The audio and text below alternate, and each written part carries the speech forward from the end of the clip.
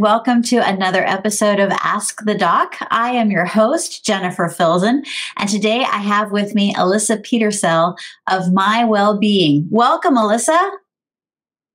Thank you so much. Thanks for having me. It's good to be here. Oh, I'm so grateful you're here. And what I love is mywellbeing.com is a matchmaking site, if you will, to, to connect people mm-hmm. with therapists. And I thought that was such a clever idea. How did you come up with that? And how long have you been in business? It's a great question. And thank you. We've been in business for five years. We started in New York, and I started My Wellbeing largely because when I was training to become a therapist, I realized the hard way how hard it was to start therapy. And as a tech enthusiast and consumer who've I've used all sorts of apps to find the right restaurant or find a taxi. I realized that the technology was really out there to make this process a lot easier, a lot less stressful, and a lot more personalized. And I was really excited to apply some of that personalization and ease to finding the right therapist for any individual to make that process a lot easier. I love that, right? Because so often people might actually say, Oh, I had a therapist once, but I didn't like that person. So I gave up on therapy. But if you can actually be matched to a person who focuses on your needs, the specialties that you need, et cetera, et cetera, location, all that, that's just genius. That's, that's really clever.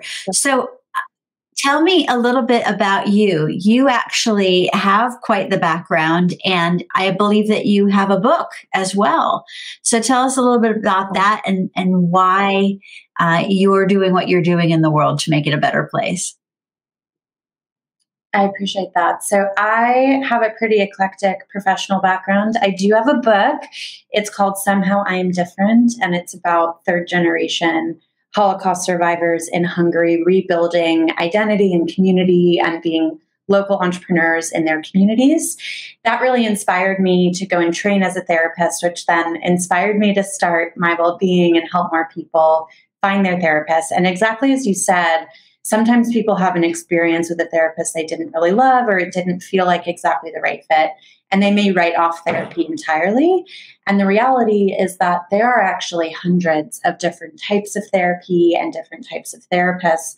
And it's a closer proxy to dating, where if you went on a date or a handful of dates that weren't great, uh, it doesn't mean that the right person for you is not out there. It doesn't mean that you're not going to find something that resonates or that really is additive to your personal growth and to your day to day. So uh, I am a therapist. I'm also a writer, and lately I'm an entrepreneur who wears all sorts of hats. And something that motivates me every day is seeing how especially young professionals, but really people of all ages in their work lives. You know, people are really burning out. There's a lot of really high stressors, whether it be work related, relationships, uh, sense of self, relationship with food, relationship with body image we all have such high expectations of ourselves and for others.